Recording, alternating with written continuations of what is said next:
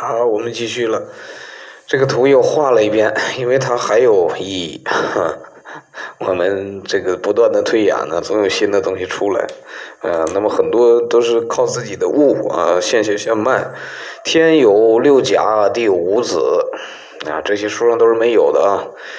那么这个六甲呢，呃，甲子、甲寅、甲辰，啊，这个子寅辰午申戌下面，天上一片甲，这个地上一片子。呃，天干是甲丙戊庚壬，呃，什么意思呢？这个啊，这是呃木火土金水，当然这是普通的五行啊。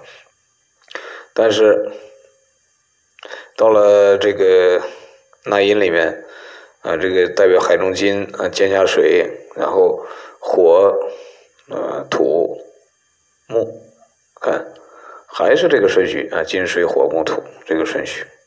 虽然说它中间实际的应该这样转五行，但是这样排，它这个掌法啊，可见还有它特别其他的规律。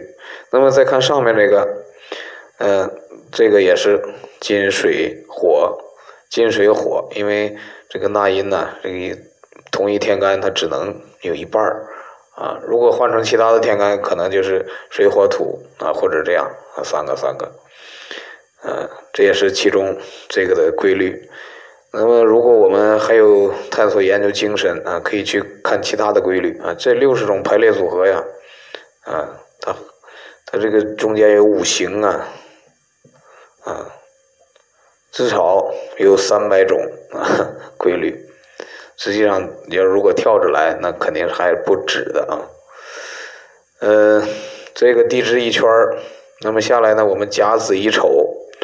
是吧？这是金，那么到这个寅卯什么时候金呢？大家就这样反思啊。人鬼，那么庚辛呢？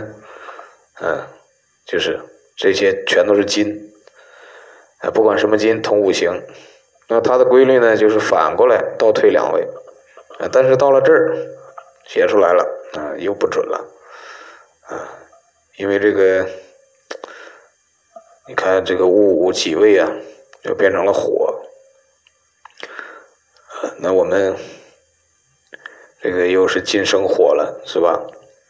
那么这个前面呢，如果我们把这个甲乙再往前倒退，那么这个是土，啊，土生金，金生火，这个是水生了土，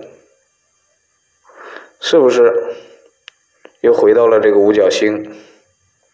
我们说纳音相生的这个规律，可见它除了各八生死之外啊，它这个当中还是潜移默化，有这个规律，就差一个木了，那你写出来一定也是那个样子的，它都是这个顺序：土生金，金生火，火生木，木生水，水生土。啊，当然了，这个地支还是比较完备的。那么如果反过来呢，是不是有效呢？呃，也有点意思啊。如果把十天干画在里面，那么子丑寅卯写上，啊，这个你看到了这个金甲子乙丑丙丁，啊，这个这个丙寅丁卯啊，金火木，但是到了土庚午辛未，金火木出现了个土，它就不准了。啊，你比如说庚午辛未，然后下面壬申癸酉，又到了金，这就是它的规律。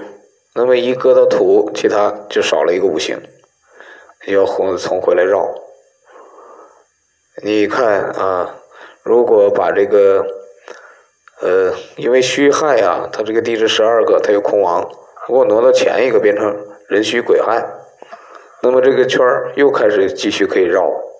嗯，那从哪儿开始呢？从这个，呃，戊午己未，这是火庚申，有木，水，火木水，然后到了这儿又金，嗯，癸亥嘛，加上甲子了，啊，然后又变成火，但是因为它当中有这个土啊，但凡出现这个土就变化了，呃，这个很有意思。